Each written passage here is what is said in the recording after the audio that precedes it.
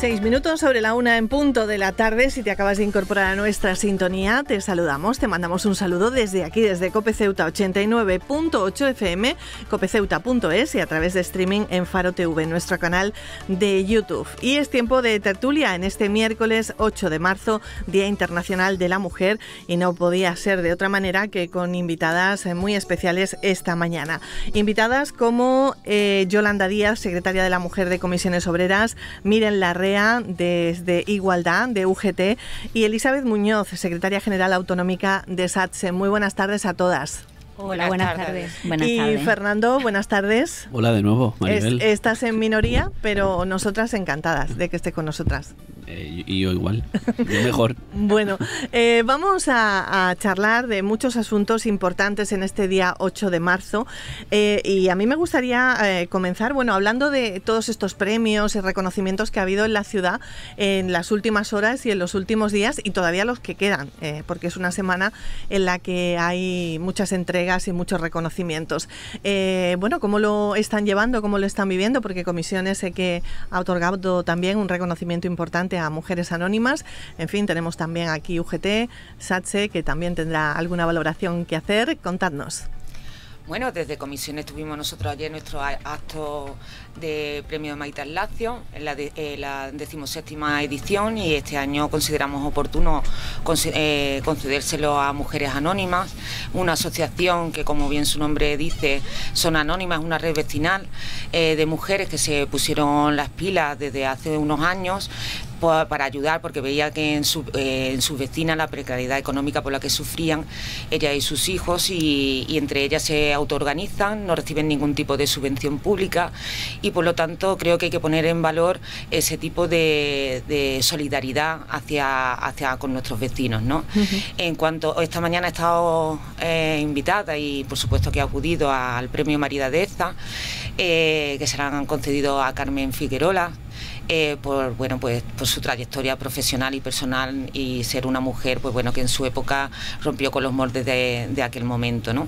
Eh, hay muchos más premios que van a, estar dando a lo largo de estos días creo que todos todos y cada uno de ellos son muy merecidos eh, porque siempre se pone en valor en reconocimiento pues el trabajo que se ha hecho durante una trayectoria personal y profesional y los que están todavía en activo como es en el caso de la asociación de mujeres anónimas pues le, le, da un impulso para seguir trabajando y luchando por, por conseguir su objetivo, que es pues, nada más y nada menos que ayudar a, nuestros vecinos más, más desfavorecidos y más vulnerables. Miren, o Elizabeth, quien quiera puede hablar. Pasa, pasa tú. bueno, pues nosotros de StuDGT consideramos que el hacer un reconocimiento a mujeres ceutíes que con su trabajo y con su labor han dejado huella en la historia de la ciudad, pues es aparte de algo bonito, es algo necesario, es un gran avance el reconocimiento a la mujer y pues estamos completamente eh, ilusionados con todo lo que, lo que está ocurriendo, con toda esta proyección que está teniendo la mujer y la que queda, porque es un, un camino a recorrer, que queda todavía muchísimas cosas que mejorar, que crear y bueno, pues en esa línea estamos. ¿Y Elizabeth? Sí, pues nosotros por parte de SASE desde luego lo que, lo que estamos inmersos es en una campaña permanente, eh, porque consideramos que, los premios son geniales, que son un reconocimiento que hay que hacer, que es necesario y que hay que recalcar la importancia de todas las mujeres eh, eh, por la importancia que, tienen en, en, la vida de todos los, los chicos y chicas, o sea, no solamente por la importancia entre las propias mujeres y el reconocimiento es importante. Pero en nuestro caso y, enmarcado en el ámbito de sanidad, consideramos hace tiempo que necesitábamos una campaña permanente que diera visibilidad a los problemas que estaba habiendo eh, precisamente de discriminación con motivo eh, del sexo. Eh, no olvidemos que el caso de la enfermería es una profesión mayoritariamente femenina y esto está llevando a lo largo de la historia y a pesar de que nos creamos que los avances son muchos, pues sí, son muchos, pero nos queda mucho trabajo por hacer y por eso desde hace ya años, eh, desde SASE establecimos esta prioridad dentro de nuestros objetivos y que era conseguir que a lo largo de, del tiempo realmente obtengamos una igualdad efectiva y clara entre hombres y mujeres. Una, una campaña rompe con los estereotipos que está llevando a cabo SATSE y que, bueno, ayer nos encontrábamos con la noticia eh, sobre que eh, seis de cada diez enfermeras aquí en nuestra ciudad denuncian estereotipos sexistas y retrógrados perjudiciales. Niña o que venga un hombre, el 50% de las enfermeras soporta comentarios como estos. Vamos a hablar más adelante de, de esta, de estos datos, Elizabeth. ahora lo que vamos a hacer es hablar de, de la brecha salarial entre hombres y mujeres que, mm, bueno, yo tengo aquí datos y hay quien me los discute. Me dice que no hay esa brecha salarial. Mm, no sé por qué me lo discuten porque los datos están aquí. En la actualidad el mundo laboral español se encuentra con la existencia de brecha salarial entre hombres y mujeres. UGT indica que esta brecha se ha situado en el 18,7% en 2022. Y a esto se añade que Comisiones Obreras, el salario de las mujeres es 4.721 euros menor que el de los hombres. Vamos a hablar un poquito de, esta brecha salarial. Y me gustaría que hablaran eh, los cuatro, incluido también Fernando, pues en, esta, en este debate, en esta tertulia esta tarde. Hábladme de esa brecha salarial. Pues sí, eh, los datos están ahí, no sé por qué hay mucha gente que lo pueda discutir. Eh, nosotros presentamos comisiones obreras, presentamos el día 13 de febrero, previo al día, eh, al día de la brecha salarial, nuestro informe sobre brecha salarial a nivel, estatal, y en el que, bueno, nosotros mm, tenemos el concepto de 21%, no, no coincidimos en uno, en uno en los datos con UGT, pero bueno, más o menos son muy similares. Realmente hay una brecha salarial eh, por diferentes motivos. Hay brecha de, temporalidad con una diferencia de nueve puntos, porque tres de cada, de, tres de cada cuatro mujeres somos, somos las que nos tenemos que pedir la reducción de jornadas pues, por el tema de cuidados, por el tema de diferentes cuestiones, pero la base importante de, solicitar las reducciones de jornadas es por el tema de cuidados, ya sea a hijos, a dependientes, a mayores, y eso es una lacra que, llevamos en nuestra espalda las mujeres durante muchísimos años. Claro, porque la, la, reducción de jornada antes eh, se hacía solo porque eras madre, pero es que ahora mujeres que no son madres ni tienen ganas de serlo, y que está estupendamente, eh, cuidan de sus mayores y tienen que pedir esa reducción de jornada. Es que eso, la sociedad está así, vamos a ver, que esto es, una realidad palpable. Todos tenemos madres, tenemos amigas, tenemos vecinas y, tenemos, y nos encontramos con este tipo de situaciones y es una realidad. Después está la brecha de actividad, eh, que está en un 10%, eh, el 53,7% de las mujeres frente al 63,5% de hombres, pues estamos menos, no, no estamos en, en situación de de, empleo, es decir, estamos trabajando, en el, sistema de desempleo es mucho más alto en las mujeres que en los hombres porque muchas veces tienen la imposibilidad de poder compatibilizar su jornada laboral con, con los cuidados del hogar y eso es una realidad. Entonces, eh, las brechas salariales lo que hay que es eh, intentar eliminarlo, es intentar trabajarlo eh, dentro de las empresas. Ahora tenemos una herramienta femenina muy potente que son los planes de igualdad que entraron en vigor ya hace muchos años con la ley de igualdad en, el 2000, en la 3 barra 2007, pero que gracias a que se ha ido desarrollando una serie de reales decretos, el 901, 902, 2020 y, otros, pues, pues con eso no han facilitado que ahora ya todas las empresas mm, con más de 50 trabajadores o trabajadoras tienen la obligación de tener planes de igualdad, que es realmente donde se va a conocer lo que es, eh, lo que es la realidad de cada empresa.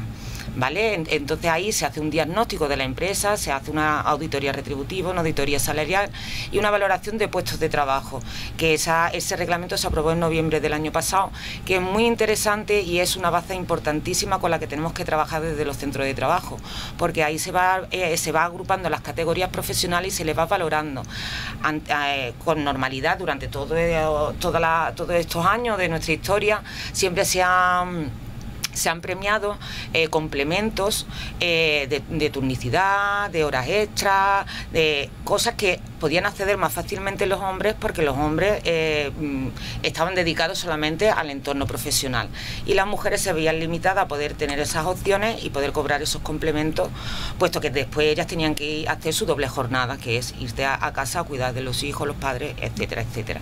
Ahora con esa valoración de puestos de trabajo lo que se le, lo que se le incentiva es cualidades y actitudes que las mujeres tenemos en nuestros puestos de trabajo y que nunca han sido valoradas, como son pueden ser, por ejemplo, la atención, la la, atención al público, eh, en fin, una serie de cualidades, las repeticiones, hay una serie de cualidades que, que, nunca han sido reconocidas por las mujeres, a las mujeres y que en ningún puesto de trabajo antes se habían planteado ni se habían pensado que podía ser mm, como un complemento a valorar, ¿no? Y ahora con esta, eh, con esta herramienta que nos, ha ofrecido el gobierno al, al elaborarla, pues todas estas cosas sí se mm, empiezan a trabajar desde hace un tiempo esta parte, desde que estamos trabajando con, con los planes de igualdad.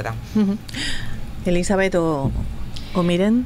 Bueno, nosotros desde luego por, por nuestra parte consideramos que, todos los avances de este tipo son indispensables. Realmente nos encontramos en una, en una profesión tan feminizada que efectivamente las excedencias por cuidados de hijos o por cuidados de, de personas dependientes recaen prácticamente en la totalidad en manos de, de las enfermeras.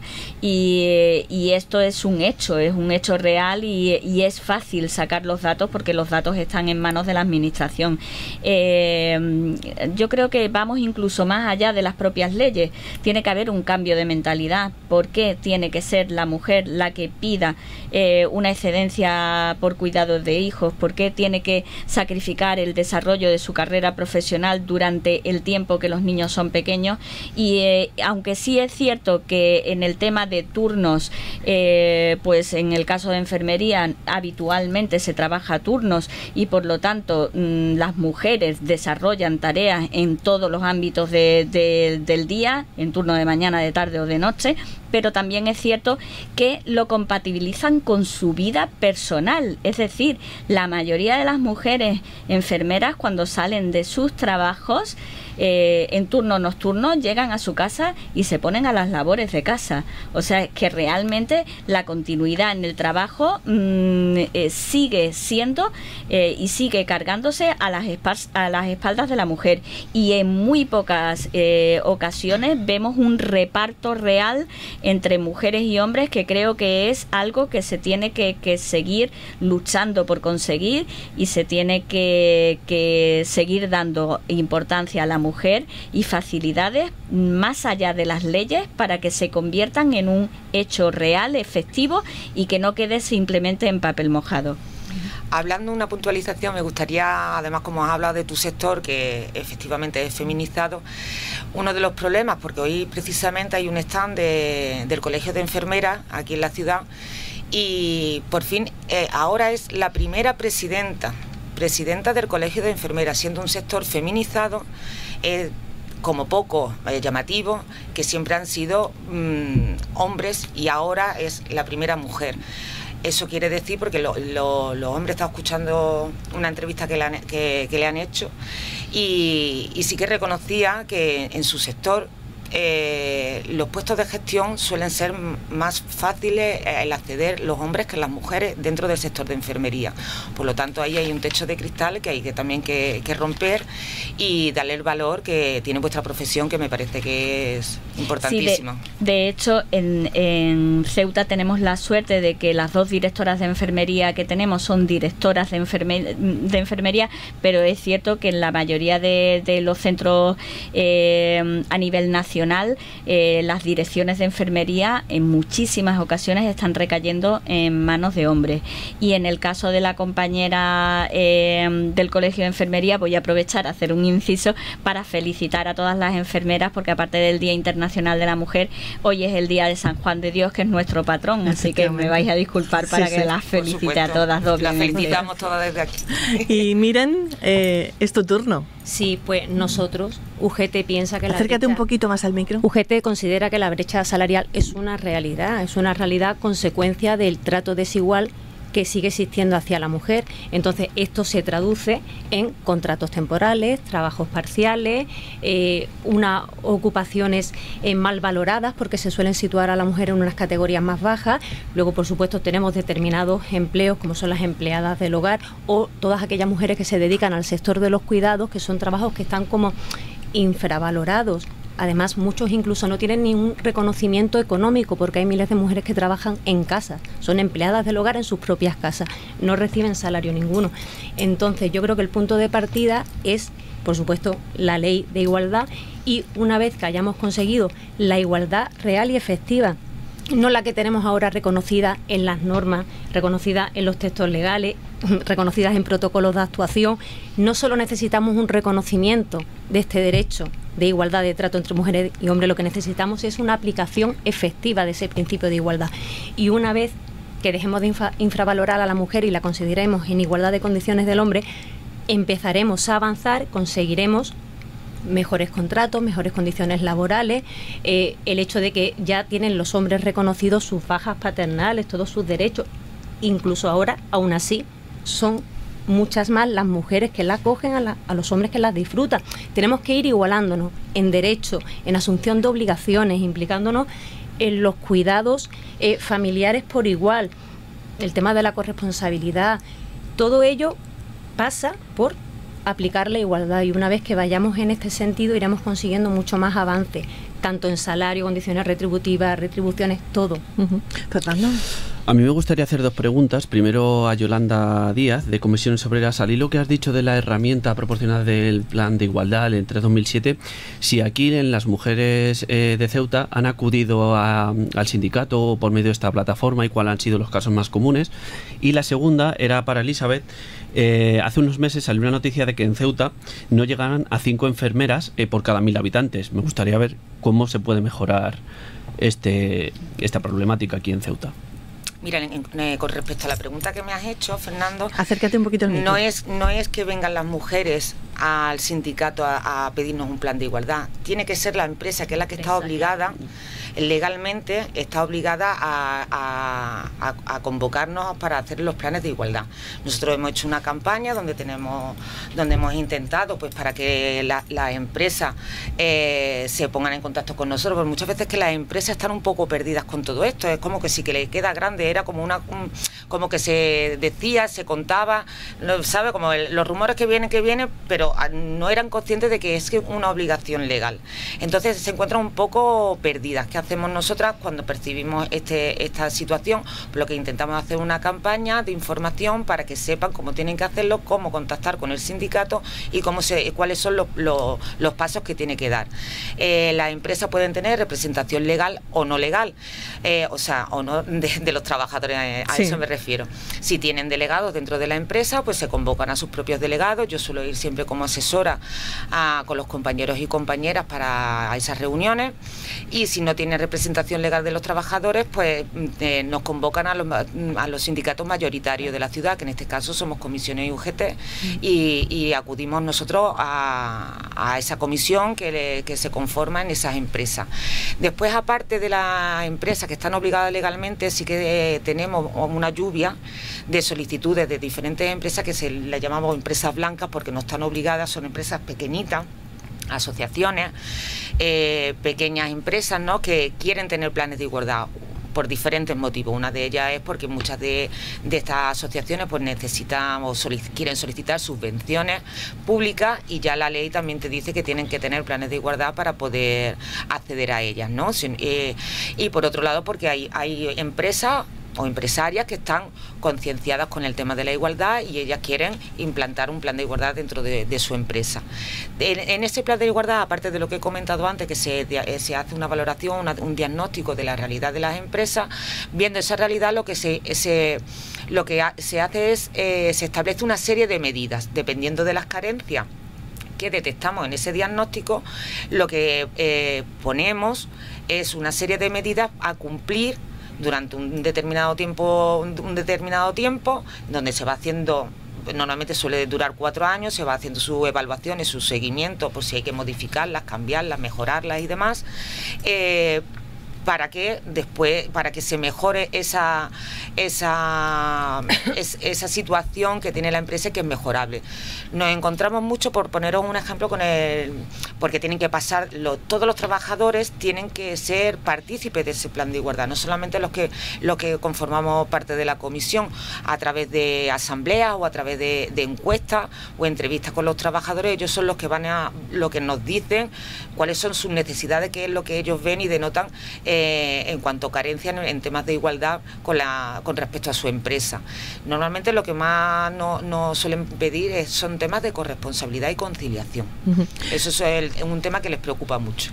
No sé si miren al respecto quiere añadir alguna cosita. yo estoy totalmente de acuerdo con la compañera. Además, ella ha apuntado, ha hablado eh, de las empresas que no están obligadas por ley a tener estos planes de igualdad, porque la empresa que está obligada, pues ya sabe que tiene que hacerlo. Pero vivimos en Ceuta, es una ciudad donde no todas las empresas o la mayoría de las empresas tienen este número de empleados, con lo cual nosotros, el sindicato, queremos eh, acercar los planes de igualdad a todas aquellas empresas que no están obligadas a tenerlo y que de manera voluntaria quieren llevarlo, quieren implantarlos, ¿eh? porque son estas personas las que al final van a hacer en nuestra ciudad en concreto que casi todas las empresas tuvieran sus planes de igualdad, porque si nos tuviéramos que centrar únicamente en las que están obligadas, pues nos quedaríamos muy cortos. Hay que llegar a todos, a todas las empresas. Al máximo, ¿no? Y por supuesto alentarlas a que tanto, bueno, comisiones como UGT estamos a su entera disposición porque eso es que forma parte de la idiosincrasia del sindicato, o sea, el ayudar, el apoyar a los sectores más desfavorecidos y en este caso pues hablamos de la mujer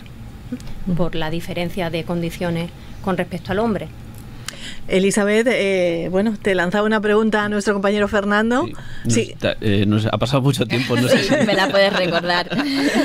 que hace meses que en Ceuta eh, que no llegaban a cinco enfermeras por cada mil habitantes. ¿Qué problema, qué puede hacer desde SATSE para, para, acatar este problema?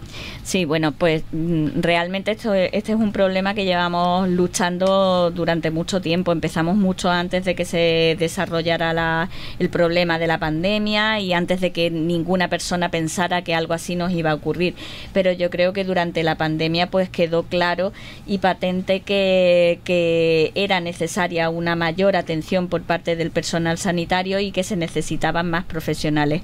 Eh, eh, realmente nosotros hacemos ese estudio en el momento en que empezamos a darnos cuenta de que España se está quedando a la cola de Europa en cuanto a personal sanitario eh, y por lo tanto empezamos a hacer una, una campaña para sensibilizar a la población y explicarles la realidad de lo que de lo que estaban viviendo porque es que mm, que haya esa cantidad de personales eh, o sea de personal profesional atendiendo a un enfermo mm, en manos de, de, nadie o sea en cabeza de nadie puede entrar que eso sea posible. Y sin embargo está ocurriendo sigue ocurriendo y, y parece ser que, que, por el momento va a seguir siendo así.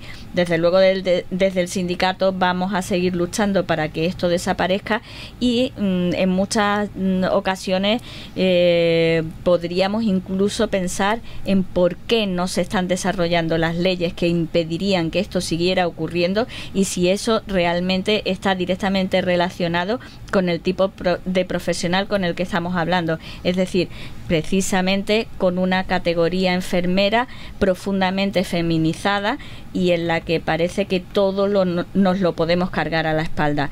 Eh, que nos encontremos a una enfermera sola por la noche con 20 pacientes es inaceptable inaceptable del todo. Eh, la responsabilidad que está admitiendo un, o sea, un enfermero en una UCI que por la noche se quede con tres pacientes muy graves a su cargo también es inaceptable. Que haya una sola enfermera en críticos para atender a personas que te pueden llegar con un infarto al corazón, con un traumatismo severo y grave y que te lleguen mm, dos, tres accidentes y que haya una sola enfermera para atender a esas personas, pues desde luego nos parece de todo tipo mm, de, de discriminación en ese sentido. Consideramos que sí hay cierta relación. Este 8 de marzo, eh, Mujeres por los Derechos Digitales es el lema de este 2023, eh, la importancia de proteger los derechos de las mujeres y las niñas en los espacios digitales y la necesidad de abordar la violencia de género digital. Eh, es un nuevo escenario ¿no? al que se han trasladado las distintas violencias que sufren las mujeres en el mundo offline. bueno, una violencia de género que se traslada ahora al mundo digital, como no teníamos suficiente, ahora al mundo digital. ¿Han podido ver eh, el porqué de este lema y han indagado un poco sobre el tema de los derechos digitales para la mujer? Bueno, desde luego yo te tengo que decir una cosa en ese sentido. Eh, es cierto que cada vez se está percibiendo un, mayor acoso de tipo machista en todo lo que con todo lo que lo que engloba ese concepto eh, a través de las redes sociales y se está llegando de forma muy fácil a chicas muy jóvenes. Entonces, eh, nosotros en ese sentido apuntábamos que se hace necesario tener personal sanitario eh, formado adecuadamente para afrontar este tipo de problemas y eh, en concreto en el área de salud mental. El acoso al que se ven abocadas muchas de las niñas y jóvenes actualmente, acoso de tipo sexista y de tipo machista, que no se permite abiertamente en la sociedad del día a día, sin embargo en las redes sociales se está permitiendo de una forma mm, continuada y amparándose quizá en el anonimato de, los comentarios de este tipo que se vierten contra, mm, ya te digo, niñas y, personas muy muy jóvenes que todavía tienen su eh, personalidad en plena formación y que en muchas ocasiones les lleva a tener conductas eh, suicidas o de depresión que tienen que ser atendidas por profesionales sanitarios específicos en el área de salud mental. Y desde aquí volver a reivindicar que necesitamos más enfermeras y más profesionales sanitarios dedicados a este área, eh, que tan solo tenemos una enfermera para toda Ceuta para el área de la salud mental y ni siquiera aún se ha implementado la plaza de enfermería que se nos prometió en el PEGO eh, para, para mm, empezar a tener una enfermera para el área de salud mm, de la adolescencia y de la infancia. ¿Algo que añadir? Totalmente de acuerdo con lo que dice la compañera, si es que eso lo, lo, vemos, lo palpamos en el día a día, ¿no? Yo que tengo hijos adolescentes o, vemos en la televisión constante eh, los intentos de suicidio que ha habido hace unos días seguidos por varios chicos adolescentes y chicas adolescentes, ¿no? Yo creo que esto se está llevando un poco, se está eh, eh, se, está, se está creando un problema social bastante importante y tenemos que pensar y poner las herramientas suficientes para que esto, eh, esto lo controlemos de alguna manera, ¿no? Hay que legislar sobre esa cuestión o, hacer algo porque desde luego todo esto después tiene una serie de consecuencias en la madurez de, todas estas mujeres. A nivel de centro de trabajo, sí que te puedo decir que en la gran conocida ley de la CSI, también de la que vamos a hablar, también viene reconocido aunque lo que pasa es que es muy poco conocido porque me da mucha pena que solamente se hable de, una parte de la ley, una ley que considero que es muy buena, que ahora lo comentaremos, pero sí que viene reconocido dentro de esa ley también el, tema de que las empresas tienen que tener eh, una prevención, tienen que trabajar en prevención con el tema de del tema del ámbito digital. Por, todo eso viene causado de hace, no me acuerdo muy bien el tiempo, si un año o dos años, aquel acoso que hubo por parte de eh, un trabajador a una trabajadora y al final que quedó, bueno, pues se suicidó la mujer y todo esto, en este, este caso que todos recordamos tan trágico, ¿no? Y, y, ahí en esa ley viene recogido que a modo de prevención las empresas están obligadas a tener, a hacer mm, prevención dentro de su centro de trabajo por el tema del acoso eh, digital. Eh, bueno, hablando de, no sé si miren, ¿quieres añadir algo? No, yo creo que la compañera lo ha reflejado, lo ha reflejado bastante bien, pero parece que es mucho más fácil eh, acosar o perjudicar a alguien cuando te amparas detrás de una pantalla, pero bueno, también hay que decir que todo tipo de abuso, de acoso, de delito, sea como sea cometido, está penado y tipificado, con lo cual eh, no debería tener una menor persecución el tipo de delito digital.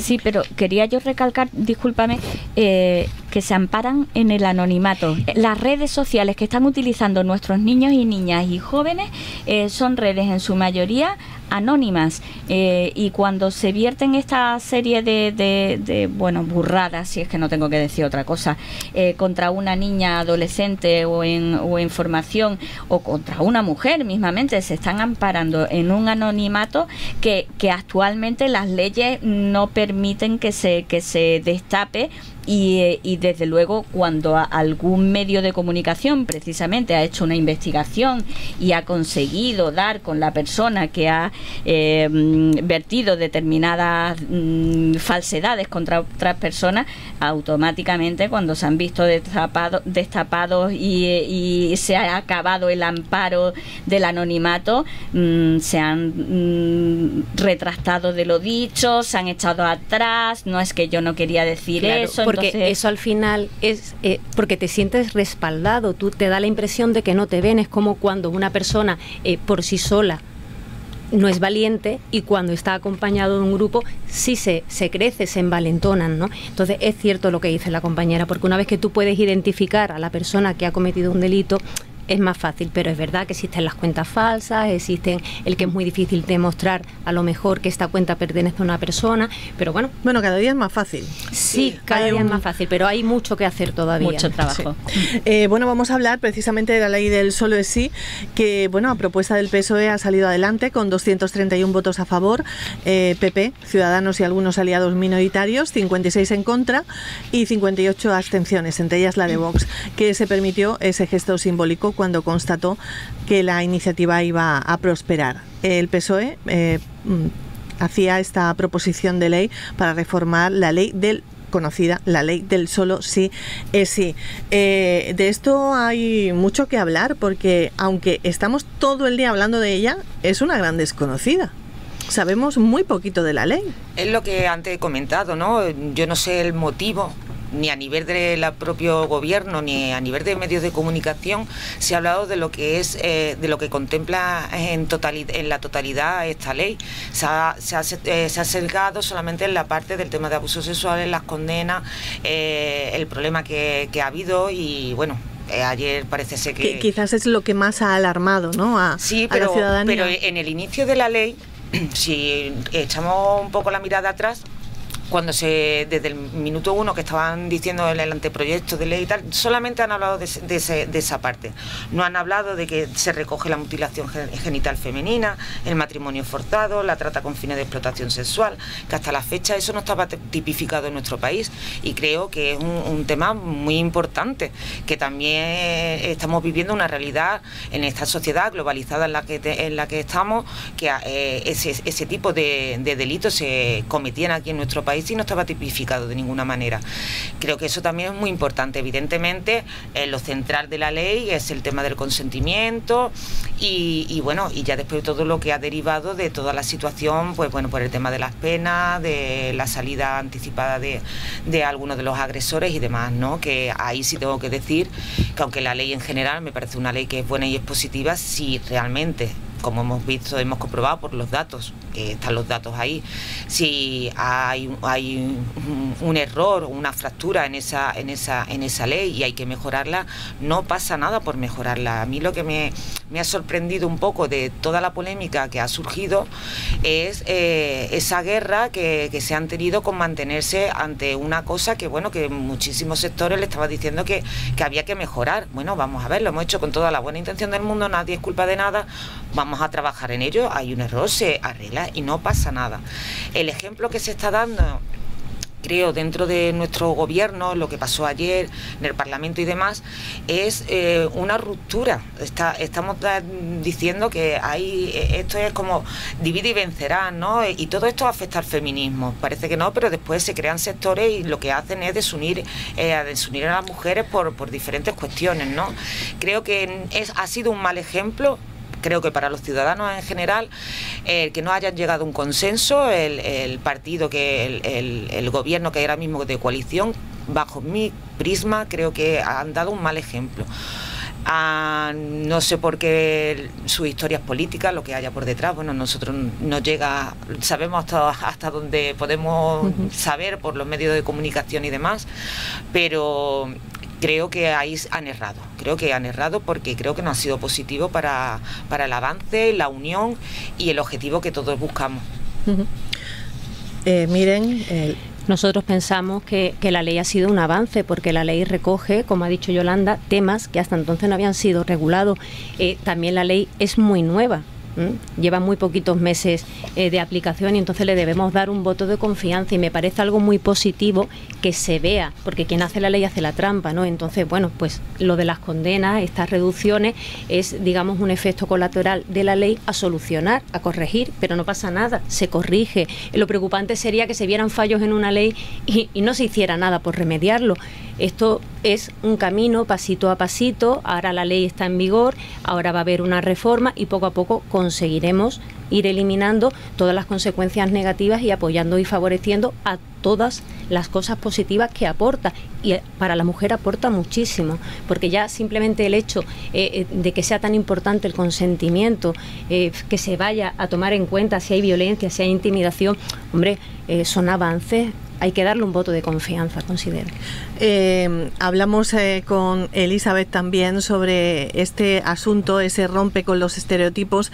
Eh, hablábamos al principio de, de, esta charla que hay mujeres en enfermería que soportan comentarios como, bueno, que se dirijan a ti como niña o que venga un hombre, ¿no? Quizás pues no sé si es para explicarle el diagnóstico o porque simplemente no quiere que le atienda una mujer. Son situaciones que se viven día a día y que seis de cada diez enfermeras en Ceuta denuncian. Eh, ¿Cómo está la situación actualmente? Bueno, la verdad es que mm, esta encuesta eh, que realizamos entre la semana del 13 y el 23 de febrero de este año eh, nos ha sorprendido bastante porque sí es verdad que nosotros sospechábamos que, que, mm, que los resultados no iban a ser los que deseáramos, pero la verdad es que ha sido bastante aplastante eh, las respuestas que, a nivel de, de, la enfermería se ha contestado tanto por parte de las mujeres como por parte de los hombres.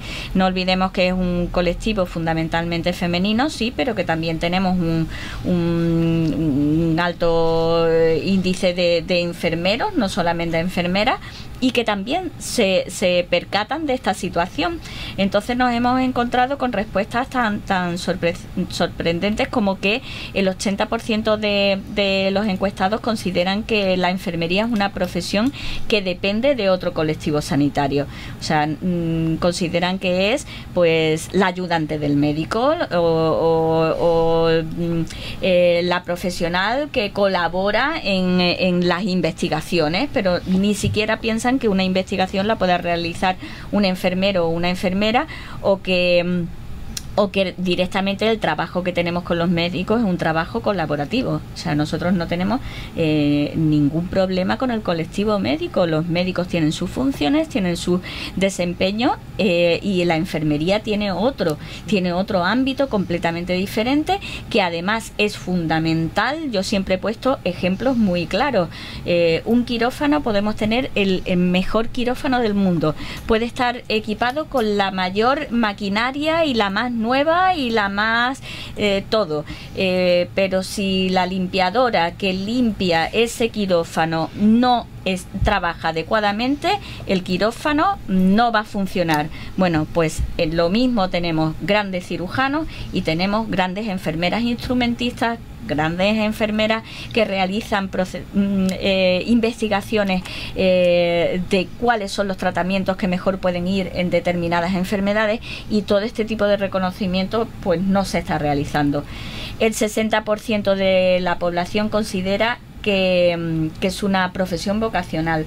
A ver, yo no niego que la enfermería tiene una parte importante de vocación, pero una vez que tú por vocación o porque la vida te lleva a ello decides hacer una carrera como la de enfermería, lo que tienes por delante es un trabajo duro, muy duro. Tienes que hacer un bachillerato, considero, de los más duros de, mm, que existen actualmente, un, bachillerato de ciencias. Te tienes que enfrentar a una selectividad, obtener una puntuación altísima. altísima. Una vez que consigues esta puntuación altísima donde la mayoría se quedan sin poder entrar ni hacer lo que querían hacer, pero cuando por fin superas esa parte, te enfrentas a cuatro años de carrera en lo que os puedo decir que la media de, de, noches dormidas son muchas menos de las que se desearían. El trabajo es importantísimo. El, eh, durante en Ceuta se realizan las prácticas concentradas en el tercero y cuarto curso, pero durante el primero y el segundo se realizan eh, las clases teóricas y los seminarios. Y es, es, una carrera muy dura. Cuando sale un profesional, sale tan, tan preparado que se nos rifan a las enfermeras en Francia, en Inglaterra, en Portugal. Es que se las quieren llevar porque la formación que tienen es excepcional y sin embargo aquí en España se sigue considerando que es pues una chica que tenía vocación de ayudar a los demás. Pues no, señor, es una profesional muy preparada y que para ello ha tenido que trabajar muy duro y que merece que se le reconozca. Luego, por otro lado, seguimos con con los aspectos de, de la sexualización de, de la enfermería. Eh, nosotros no paramos de luchar con, con, con, este tema porque es que, bueno, eh, tenemos que pelearnos en carnavales, tenemos que pelearnos en todo momento porque la enfermera es la chica, la, la, la muchacha, la y, esto es un problema que, nos sigue costando mucho trabajo. Y seguimos siendo mm, a lo largo de nuestro trabajo eh, víctimas de tratamientos ofensivos, denigrantes, eh, mm, se pasan por situaciones muy duras por el mero hecho de ser mujer. Eh, lo que decían, llega un enfermero, no, no quiero que tú me atiendas, o sea, una enfermera, no quiero que tú me atiendas, hace el, el favor de llamar a, a un médico porque porque tú eres una enfermera, tú, mm, tú esto no lo sabes. Entonces, este tipo de cosas, la verdad es que tenemos que seguir luchando y desde luego vamos a seguir haciéndolo.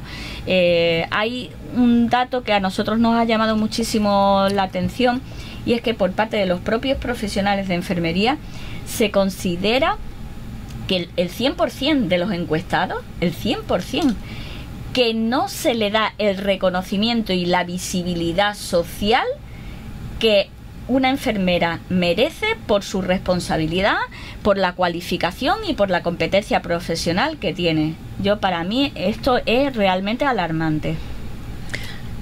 Sí.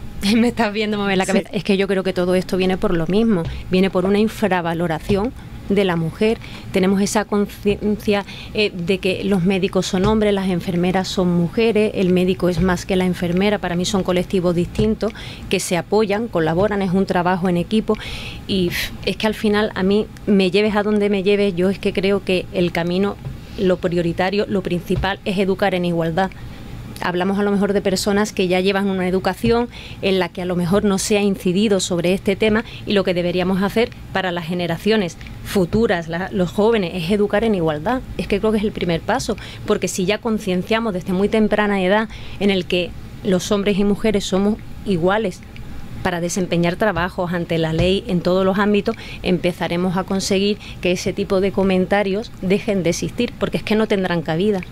Bueno, son comentarios además que la mayoría de las veces ni, ni te esperas, ¿no? Ya no solo la profesión de enfermería, que es, el caso, yo creo que es en todas las profesiones. Y, bueno, eh, nos hemos encontrado un artículo en El País que nos hablaba de cinco mandamientos que maleducan a las mujeres. Y los eh, estos cinco mandamientos son no protestarás, no gozarás, no existirás, no decidirás y no desagradarás. En lugares remotos y en la puerta también de nuestra casa, las protagonistas de un relato se rebelan y rompen con los caminos marcados. Mujeres que, bueno, nos llevan hasta India, hasta Ghana, eh, nos llevan también hasta Afganistán, donde eh, no existirás, es el mandamiento que, ofrecen allí. En fin, hay mucha lucha aún eh, de las mujeres en todo el mundo, ¿no? Efectivamente, esto nos queda mucho camino por recorrer. Sí que es verdad que hemos avanzado, por lo menos en concienciación, a nivel sociedad en general. Claro, en comparación con lo que estábamos hablando de estos países, nosotros hemos avanzado, muchísimo. De hecho, hoy, bueno, eh, hemos concentrado el reconocimiento de la Mujer en un día, no pueden, pero nosotros tenemos que trabajar los 365 días al año para conseguir esos objetivos. Lo que se, lo que pasa es que se visibiliza, pues en un día al año, lógicamente no puede ser de otra manera, por a nivel de reconocimiento a nivel general. Hay que recordar, hay que echar la mirada atrás. hoy precisamente eh, pues todas por todas esas mujeres que están en, esos países y en esas sociedades patriarcales machistas que no pueden levantar su voz. Nada más que tenemos que echar el reflejo a las iraníes, a las afganas o a, tantos y tantos países que están en esa situación. Que ahora mismo, a esta hora, lo estarán sufriendo. Todo esto que estamos comentando. No tienen, derecho a educación, no tienen derecho a absolutamente nada. Ni a, ni a decidir la ropa que se ponen, ni a hablar, ni salir sola de, de, la, de su casa si no va acompañada de un hombre. O sea, estamos hablando de cosas que son una barbaridad que a nosotros ahora mismo aquí en, en, nuestro país, en el año en el que estamos, nos parece una barbaridad, pero que no se nos olvide que eso sigue ocurriendo a día de hoy en muchísimos países. Y que hoy es un día también pues para rendir homenaje a todas esas mujeres que están luchando día a día, enfrentándose a estas situaciones tan complicadas, exponiendo su vida a, a ello y creo que es muy importante recordarles en el día de hoy me gustaría decir que ni nos domesticaron, ni nos resignamos, ni vamos a, parar hasta conseguir la igualdad de derechos. Ese tiene que ser nuestro nuestro dogma para, seguir con el impulso, tener, seguir trabajando en nuestro día a día, cada uno dentro del ámbito en el que nos encontremos, hacer todo lo que podamos para que podamos ir avanzando. Eh, miren, Elizabeth. Hombre, yo considero que el artículo es un artículo es fuerte porque estos cinco mandamientos lo que pretenden es hacer invisible a la mujer y precisamente nuestra lucha es la contraria. Nosotros queremos, nosotros vamos a dar visibilidad a la mujer en el ámbito social, en el ámbito laboral, educativo, en todos, pero vamos a hacer que la mujer exista y que la mujer tenga su participación que como ha quedado demostrado, somos muy capaces, estamos muy formadas y preparadas y vamos a hacerlo ver.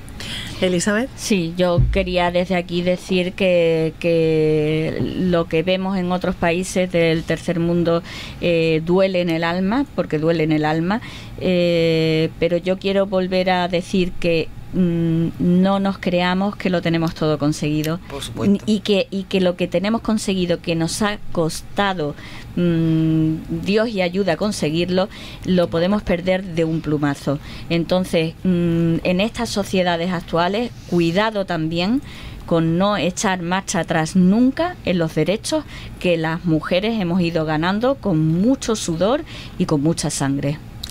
Yo para acabar, Maribel, si te parece, si tenemos tiempo, me gustaría saber y preguntar, ya que yo vengo de fuera, ¿qué repercusión creéis que, que tiene este día del 8M aquí en Ceuta? Así para terminar. Para terminar, al ser nuevo, me gustaría saber qué repercusión tiene tiene aquí las mujeres. Pues mira, yo te voy a decir una cosa. Em, paradójicamente es un día, yo considero que es un día muy importante y que pese a lo que parezca, que haya un día al año en el que nos centremos en reflexionar sobre estas cosas me parece súper importante. Pero a la vez también escuchamos comentarios, porque nosotros, como, como os decía, es el Día eh, de la Mujer, vamos por, por todos los centros, pues les llevamos un obsequio a las mujeres, les repartimos el lanyard para que, para que luzcan este día y, observamos los comentarios de unas y de otras y de otros y de unos y, muchas veces nos sorprende eh, escuchar la división en la propia calle. Yo, a mí mm, me da pena, me da pena porque sigues viendo movimientos encontrados. Mira, aquí estamos tres sindicatos diferentes y creo que podemos hablar básicamente de lo mismo y podemos ponernos de acuerdo en la mayoría de las cosas con respecto a esto. Y sin embargo, en la sociedad estamos viendo cómo hay ambientes que polarizan o intentan polarizar este día para que es que mm, eh, este habla de la mujer, pero es que no habla del hombre y al hombre también se merece. Eh, la otra que es que mm, yo no han dicho aquello, pero han hablado de la mujer, pero no han hablado de, de las mujeres homosexuales. Que bueno, vamos a ver vamos a centrarnos, vamos a ir unidos, vamos a conseguir que todas las mujeres tengamos los mismos derechos o todas las que nos sintamos mujeres. Es que me da igual como lo quieran ver, quiero que seamos iguales, de forma efectiva, de forma real. Y la, la división entre los colectivos me parece que es negativa para estos movimientos. Estoy totalmente de acuerdo contigo, porque sí que es verdad que se ha visto en los últimos tiempos, sobre todo cuando con el tema de la ley trans, ha habido una una separación de diferentes sectores y demás con la que yo no estoy de acuerdo, porque estamos perdiendo el norte. Vamos a ver, eh, esto es lo que hablábamos al principio, ¿no? Divide y vencerás, ¿no? Eh, tenemos que tener claro cuál es el objetivo y todos tenemos que ir a una. Son sectores minoritarios que nosotros tenemos que acoger también como nuestros, por lo menos esa es mi forma de ver, de ver la historia. Me da, como dice la compañera, me da igual que sean mujeres o se sientan mujeres. La historia es eh, ir, ir de la mano para conseguir el objetivo que tenemos todas, que es tener los mismos derechos en esta sociedad en la que estamos viviendo que aún sigue machista y patriarcal. Eh, las diferencias de opiniones en la calle y demás, como tú me dices, eso lo escuchamos todos, ¿no? Hacen en, encuestas y entrevistas por la calle, en la televisión pública o, en otros o con otros medios y yo esta mañana lo he podido lo he podido ver, ¿no? Yo creo que ahí también va un poco falta de información. La gente habla del tema de igualdad como si todo solamente fuera para las mujeres, también estamos incluimos a los hombres. Efectivamente. La, ley de igualdad es para hombres y para mujeres, que es que parece que, claro, los hombres se sienten ahí como un poco con las uñas, ¿no? Como los gatillos, ¿no? Ahí a la, defensiva. Eh, cuando entramos a los centros de trabajo por los planes de igualdad, cuando trabajamos con empresas que son feministadas, lo que hay que intentar incluir a hombres en esos sectores. Te quiero decir que nuestro trabajo es tanto para hombres para las mujeres. Hoy es el Día de la Mujer y hay que poner en valor todo por lo que atraviesan las mujeres para llegar hasta poder conseguir la igualdad, porque nos guste o no nos guste, la realidad que vivimos es que las mujeres eh, tenemos peores salarios, porque tenemos una situación mucho más precaria, y eso es una realidad, porque eh, eh, vivimos y hemos vivido durante muchos años en un, en un sistema patriarcal. Y hoy es el día de la mujer, por eso hablamos y nos centramos en la mujer, pero no quiere decir que estemos en contra del hombre, ni muchísimo menos. No, para nada, para nada. Lo que acaba de decir la colega es totalmente eh, real. O sea, la ley es igualdad de trato entre mujeres y hombres. Lo que pasa que es una ley que intenta proteger a los colectivos más desfavorecidos, que en este caso la realidad, las mujeres el colectivo LGTBI, eh, determinados sectores de la población, en fin, que generalizamos porque es para todos para todos, incidiendo en aquellas personas que más lo necesiten. El desconocimiento a veces hace que, muchos y muchas eh, digan pues lo que no es, ¿no? Y es una, realidad, porque si no, no habría una una ley de igualdad o la de violencia de género, ahí se está reconociendo, se ha reconocido por parte de todo, de, de todos que las mujeres estamos en peores condiciones y eso es una realidad. Cualquier estudio de brecha salarial, cualquier estudio de, de salud laboral, si nos ponemos a ver los datos estadísticos, los que más incidencia tienen de accidentes laborales en itineres somos las mujeres. ¿Por qué? Por dos cuestiones básicamente, porque somos los que tenemos los trabajos a tiempo parcial por lo tanto, para poder llegar a final de mes, normalmente tengo que trabajar en más de un trabajo y tengo que ir corriendo de un lado a otro y tengo accidentes en itineres y por otro lado, la doble presencia, salgo corriendo del trabajo, me tengo que ir a casa y tal. Y esos son datos estadísticos y estudios que están ahí. O sea, que es que no nos los inventamos las mujeres, esos son datos estadísticos que lo hacen hombres y mujeres. Y eso hay, hay que tenerlo en cuenta. Por lo tanto, hay que trabajar en ese sentido para intentar llegar a la igualdad real, que todavía nos queda mucho, muchísimo. Espero que el próximo 8 de marzo eh, podamos charlar de nuevo y repasar todos los avances que se hayan conseguido en el 2023, que nos queda todavía mucho por delante. Muchas gracias a las tres. Eh, Yolanda Díaz, secretaria de la Mujer de Comisiones Obreras, Miren Larrea, desde UGT, eh, desde su área de igualdad, Elizabeth Muñoz, secretaria general autonómica de SATSE. Gracias a las tres y gracias Fernando Morcillo por haber estado con nosotras. Gracias a ti, mañana más. Muchísimas gracias. muchas gracias. Mañana volvemos a la mañana de COP Ceuta con otros asuntos que contarles y mañana además vamos a hablar de salud. Espero que no se pierdan nuestro tiempo de radio. Eh, ahora les dejamos con las noticias nacionales e internacionales y a las 2 y 20 toda la información en este 8 de marzo en COPE Ceuta, aquí en la 89.8 FM, nuestro mediodía COPE.